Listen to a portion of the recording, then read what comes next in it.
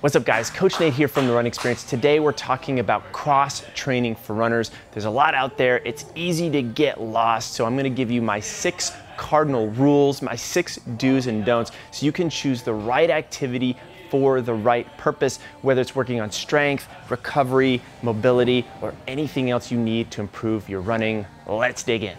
Hey, thanks to Reebok and the Reebok Floatride for sponsoring this video. Now, our whole team got a pair of these shoes to try out, and uh, we tried a lot of shoes on over here at the Run Experience.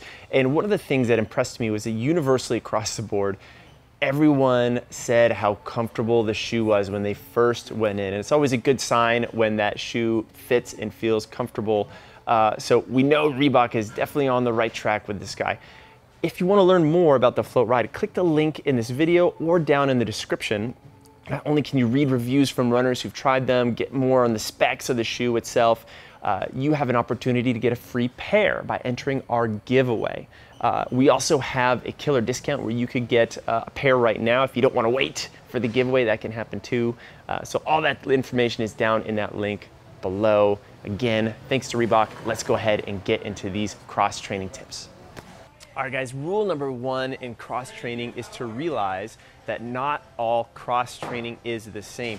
It may seem obvious at first, but a lot of times as runners, we just see the cross training with X on our schedule and uh, we're kind of scratching our heads. We're like, what should we do? Is that running? Is, or running, you're already running, is that uh, riding a bike? Is that you know going into a boot camp class or Pilates? So I want to go into a few things just to give you some ideas here.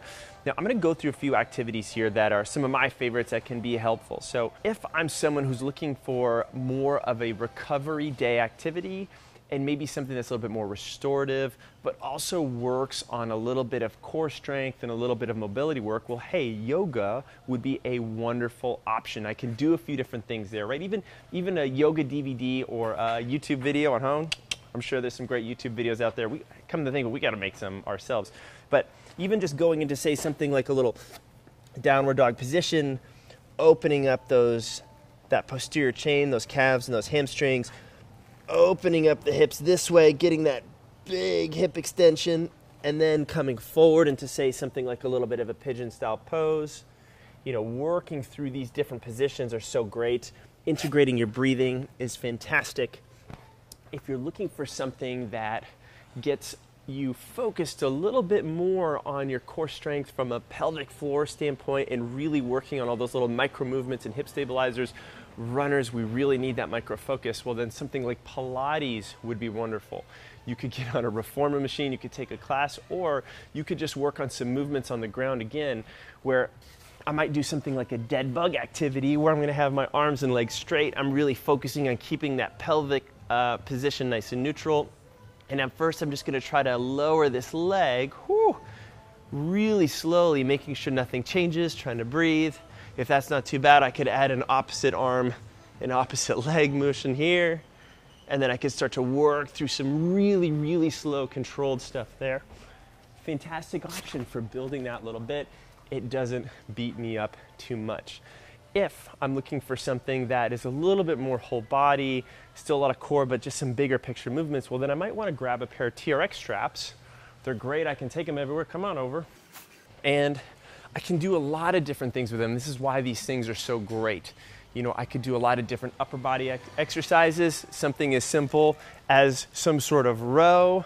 I could do some movement where I'm doing a little upper body ex this movement this way. Runners, we run with our upper body a lot. We got to get into it. The other thing, fun things I could do with this is that I could get a foot in here as I try to figure this out. There we go. It's almost like I haven't done this in a while. Don't tell anyone. I'm going to get myself situated here. I'm going to keep my hips nice and square, and I could drop this back knee to the ground, and I could work on some sort of supported elevated lunge where I'm having to balance and stabilize a little bit that way.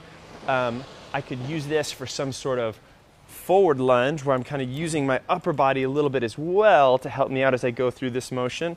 And I could even get my feet in here for something like a plank or some kind of like hamstring curl as a way of building myself up that is a fantastic way to go. But it is not the only option. In fact, one of our best ones for last is just the good old meat and potatoes of a barbell, a dumbbell, and a kettlebell.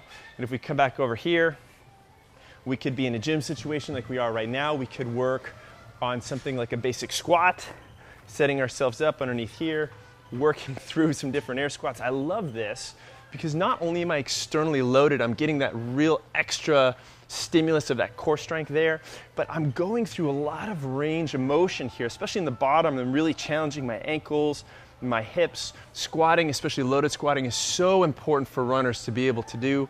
I could work on lunges, stepping back and work on a lunge here, loading up. I could take this bar, I could work on some sort of big press overhead. I could do a lot with this. Of course, I could do the same thing with a pair of dumbbells and a pair of kettlebells. Depending on how strong I am, I can just choose a different weight. These are great because all I need is a little floor space, not a ton of equipment, and I can work a lot. So this would be great if I'm looking for a little bit of a greater stimulus, a little bit of a longer workout. I wouldn't call it a restorative day, but it'd be something that'd be important for my running. So remember, not all cross training is the same. Pick your activity, pick your poison, depending on what you're trying to accomplish with your running. Hey guys, Coach Holly here helping Nate out with the do's and don'ts of cross training for running. Number two is going to be don't assume that cross training replaces running. Now, if you are someone who is just getting into running and you're just getting into this cross training as well, you'll notice this stuff is super effective. It gets the heart rate up, it gets you nice and strong, but at the end of the day, it isn't going to get you necessarily to that start line of your race. However, since you're training so much now, there are going to be probably days where you wake up a little achy, there's some pain in your ankle or knee, and this is when you can use that cross training to mimic the running, keep that heart rate up, get your workout in without overdoing it and pushing the injury on the running. So, swimming is a good version of this. Um, getting on a bike, doing some water running, um, get on a rower, and the other thing is you can mimic the exact workout you were going to do for running on that machine. So if I was going to go do an interval workout, I can hop on the rower and I can mimic that in the same way. So do the same amount of push, the same amount of rest, try to get that in the same way, but you're not necessarily pounding the pavement the same way you would if you were running. All right, guys, tip number three is do add whole body strength training into your routine. Anywhere from one to three times per week will be helpful to your running. And the reality is, the more athletic and strong you can be in this, the better your running will be all the way through. So um, I like to do a d- bunch of different things here, but you can start super simple with a barbell. Uh, Nate showed us some squats and some overhead press, um, but I can show you a few other options for you. The first one being a deadlift. So I'm just going to grab this barbell. This one's super simple, um, but it what it does is it challenges other muscle groups that you're not necessarily um, working on when you run. So a couple deadlifts here, just showing you. This is challenging the core and the back of the legs, the hamstrings and the glutes. Also helping you keep a nice straight back, which is something that we tend to let round over when we get tired during our runs. Something else you could do with this barbell, even without any weights on it, would be a strict press overhead and what that's going to do is just strengthen our shoulder position and our arm swing all the way through when we run. Sometimes that can fall short, and this will just encourage a little bit of a stronger push on that arm swing. And there's a lot of options you can do here. Using that barbell, you can also use, of course, there's dumbbells, there's kettlebells, all kinds of stuff. Um, but just the reality is, you want to hit those muscle groups that you're not really doing when you run, when you just go out for that long run where you're kind of shuffling through. So mix up your strength routine one to three times a week and you'll be set to go. You know, when you were looking for a shoe that had a lot of cushioning as well as a lot of support, especially for those longer runs, you knew you were signing up for a shoe that was also heavy. It was kind of a clunker because of all that material that was extra on the shoe.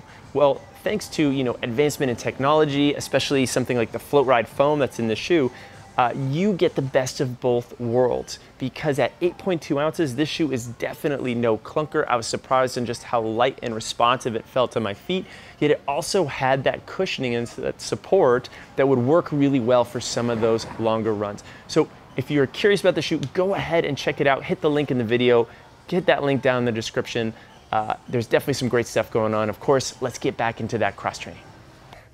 So, rule number four don't add high intensity interval training when your running includes a lot of high intensity training itself.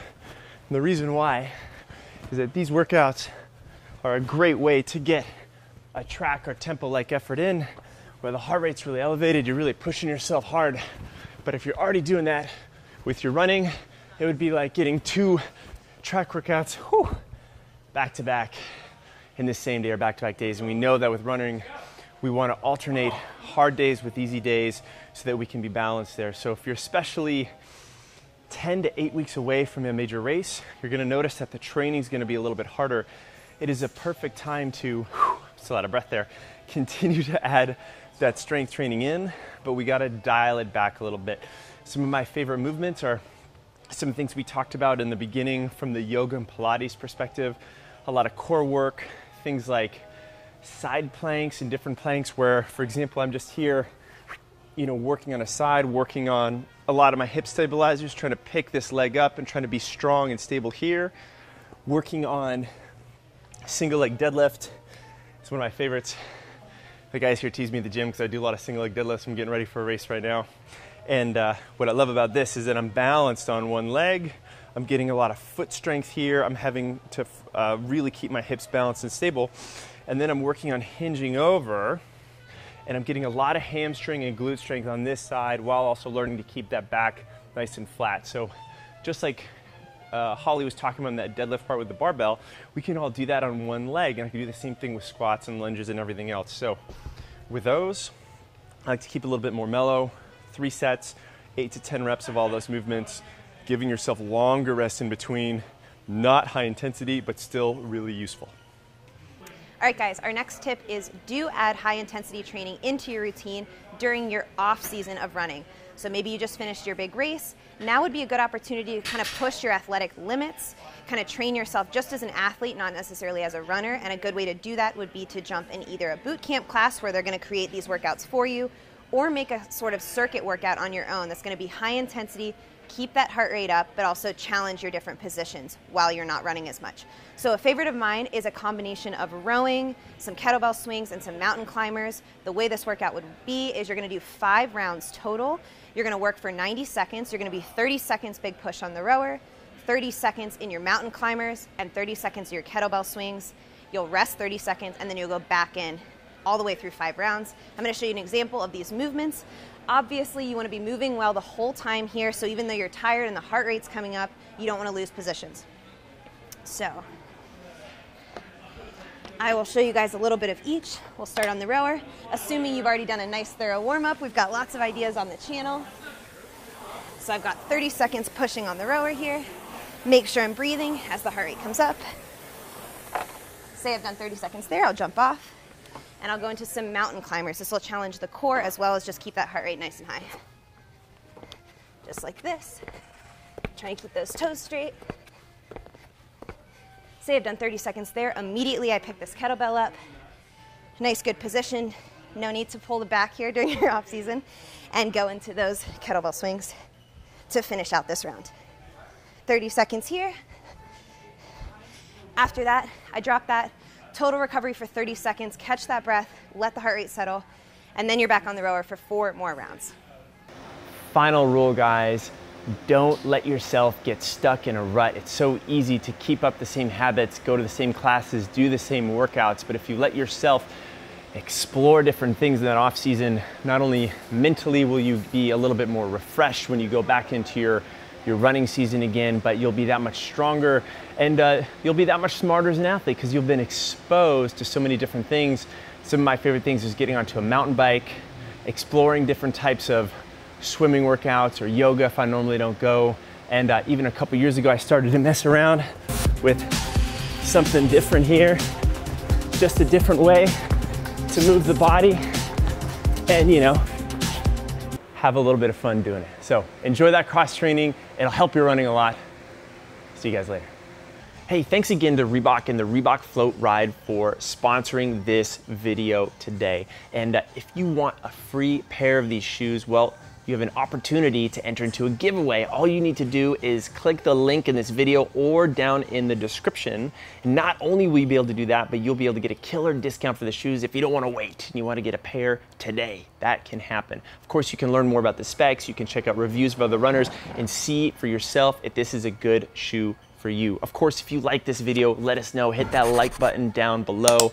Any comments or questions, future video requests, anything you want to know from us, go ahead and drop that in the comments. We always like to have a conversation there. And of course, subscribe to our channel. We want you to be the first to get the new videos we're dropping each and every week on marathon training, strength training, 5K, cross country, beginner, whatever you're looking for in running, we got something for it, or we will film it soon.